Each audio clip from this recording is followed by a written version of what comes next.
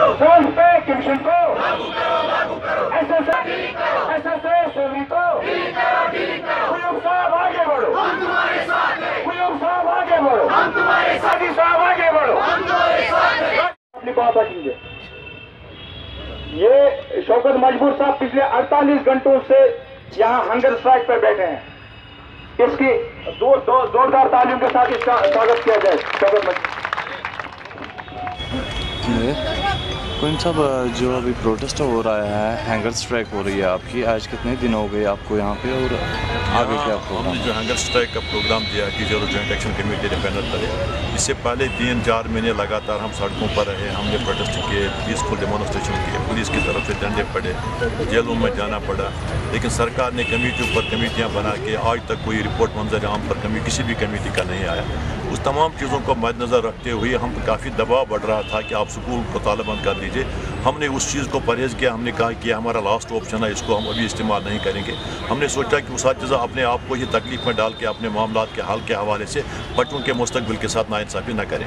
اس چیز کو مد نظر رکھتے ہوئے سول سوسائٹیز کے مطلب سینٹیمنٹس کو مد نظر رکھتے ہوئے، بچوں اور پیرنٹس کے جذبات کو مد نظر رکھتے ہوئے ہم نے یہ انڈیفنیٹ چین ہنگر سٹرائک کا پروگرام دیا یہاں بھی اور جموں میں۔ یہاں نواں دن چل رہا ہے، آج ہنگر سٹرائک کا۔ دیکھیں ہمارے اساتذہ یہاں پانی کے ایک ایک بوند کے لیے درس رہے ہیں اور جموں میں تیرہواں دن چل رہا ہے ہمارے ہنگر سٹرائک کو۔ ان ایڈیشن ٹو دیٹ ہم نے وہاں بھی کینڈل لائٹ پروٹیسٹ کیا ایک بار، اور اب بھی آج ہم نے یہاں نماز مغرب کے بعد یہاں سے بھی کینڈل لائٹ پروٹیسٹ نکلے گا، جس میں تقریباً چار سو رضاکار ٹیچر جوائنٹ ایکشن کمیٹی کے شرکت کر رہے ہیں۔ پارتا پارک سے راج بھون کی طرف ہم جا رہے ہیں شام کو نماز کے بعد۔ اور جموں میں بھی ایسا ہی پروٹیسٹ نکلے گا، راج بھون کی کی طرف، وہاں بھی ہمارے ٹیچر جو لیڈرس ہیں گنیش کھجوریا جی ونود شرما جی ان کی قیادت میں وہاں بھی جلوس نکلے گا۔ اور اس کے بعد ساتھ ہی ہم نے اور ایک پروگرام دیا ہے۔ وہ پروگرام ہم نے ایک انوکھا پروگرام دیا ہے۔ ہم نے ورکنگ ڈے کے بجائے اب سنڈے کو ہم نے پروگرام دیا یہاں ہی پرتا پارک سے بہت بڑا میگا ڈیمانسٹریشن کا پروگرام ہوگا۔ وہ سالیڈیٹری ریلے بھی ہوگی بھوک ہڑتالی ملازمین کے ساتھ اور اپنے معاملات کے حوالے سے احتجاج بھی ہوگا۔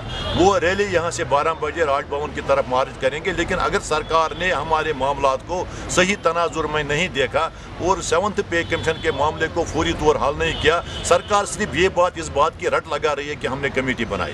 کمیٹی سے ہمارا کوئی اعتراض نہیں ہے۔ ہم نے کمیٹی کو ویلکم کیا اس سے پہلے بھی تین چار کمیٹیاں بنی ویلکم کیا کیونکہ کمیٹی کا مقصد الیکشن آف پوسٹس کے حوالے سے ہے اور ڈلنکنگ کے معاملے کے حوالے سے ہے جہاں تک سیونتھ پے کمیشن کا تعلق ہے seventh pay commission is a part of salary this a matter of right for the employees working on the regular establishment to deny any regular employment employee from the benefit of the seventh pay commission is against the norms is against the C S R is legally and logically have no ground moral ground اور تو اس اس تمام چیزوں کو مد نظر رکھتے ہوئے میں سرکار تک یہ بات پہنچانا چاہتا ہوں آپ کے مادھیم سے کہ وہ سیونتھ پے کمیشن کے اطلاع کا فوری طور اعلان کریں۔ باقی جو اس کے ساتھ جڑے معاملات ہیں، ان کے لیے جو کمیٹی بنی، اس کو ہم ٹائم دینے کے لیے تیار نہیں۔ اگر سرکار نے سرکار نے حال ہی میں ایک سرکولر نکالا ہے، ہمارے پاس بایو میٹرک اٹینڈنس لگی ہے اور اب ہمارے ٹیچر جو سالیڈیٹری کرنے کے لیے یہاں ہمارے اساتذہ کے ساتھ آتے ہیں، پانچ پرسنٹ چار پرسنٹ لوگ ہی سالیڈیٹری کرنے کے لیے آتے ہیں۔ باقی تو سکولوں میں آج بھی کام کاج اچھی طرح طریقے سے کرتے ہیں۔ سرکار نے ایک سرکولر